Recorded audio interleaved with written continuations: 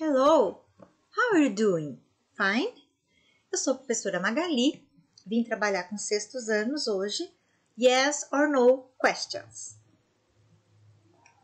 Muito bem, pessoal. Vamos elaborar questões em inglês. Para elaborarmos perguntas em inglês, sempre devemos inverter na frase a posição do verbo e do sujeito.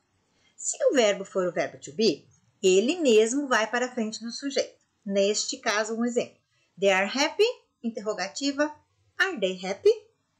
Para respondermos a essas questões, usaremos yes, que é sim, se a resposta for afirmativa e o verbo to be. Por exemplo, essa pergunta: Are they happy? Yes, they are. Se a resposta for negativa, usaremos no e o verbo to be na forma negativa. Para essa pergunta: Are they happy? Negativamente responderemos: No, they are not. Ou a forma abreviada: No, they aren't. Ok? Porém, se o verbo não for o to be e for um outro verbo, quem vai para a frente do sujeito é o verbo auxiliar. Se for, se o verbo estiver no presente, do does. Se o verbo estiver no passado, did. Se o verbo estiver no futuro, will. Por exemplo, a frase aqui, ó, they play soccer. O verbo play não é um verbo to be. A interrogativa dele, como ele está no presente, é auxiliar do. They play soccer. Certo? O auxiliar do presente é o do.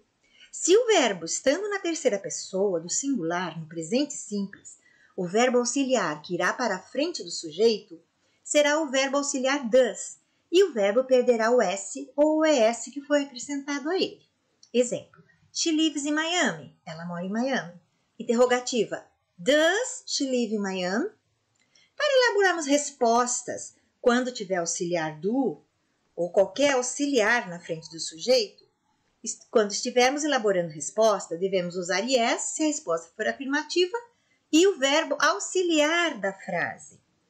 Se a resposta for negativa, devemos usar auxiliar da frase e o not, podendo também abreviar. Por exemplo, do they live in New York? Eles moram em New York? Yes, they do. Sim, eles moram. A, ou então resposta negativa. No, they do not. Ou no, they don't. Does she speak English very well? Ela fala inglês muito bem? Yes, she does. No, she does not. Ou no, she doesn't. Então, pessoal, prestem atenção que nós usamos apenas o auxiliar para as respostas. E o na pergunta, o auxiliar vem na frente do sujeito. Muito bem, vamos ver como ficariam agora as nossas atividades. Vamos lá. Tom happy. Is Tom happy? No, he isn't. Ele está triste. He likes vegetables. Does he like vegetable? No, he doesn't. Não, ele não gosta de vegetables. Do they play the trumpet? No, they don't. Uh, is it your birthday? Yes, it is.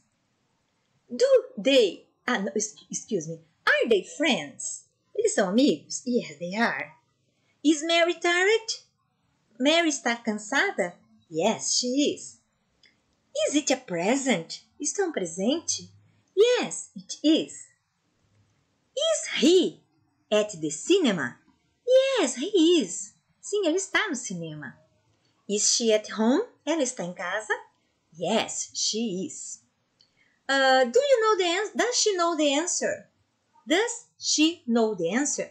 Yes, she does. Ela sabe a resposta? Sim, ela sabe. Are they bored? Eles estão chateados? Não, pelo contrário. No, they aren't. Is she well? Ela está doente? Yes, she is. Sim, ela está doente. Olha, está de cama. Do you like pizza? Yes, we do. Sim, nós gostamos de pizza. Vocês gostam de pizza? Sim, nós gostamos. Are they at the playground? Eles estão no playground? No, they aren't. They are in classroom. Eles estão em sala de aula. Are, uh, do they travel by plane? Eles viajam de, de avião? No, they don't.